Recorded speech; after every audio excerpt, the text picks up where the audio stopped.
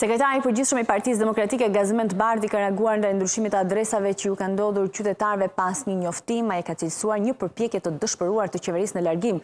Ligji e thotë qartë se me ndryshimin e vendbanimit qendra e votimit ndryshon automatikisht. Çfarë thotë Sandër Lleshaj është një përpjekje e dëshpëruar për të mbuluar manipulimin e listave të votuesve Një tjetër përpjekje e dëshpëruar e Edi Ramës përpara largimit të pashmangshëm.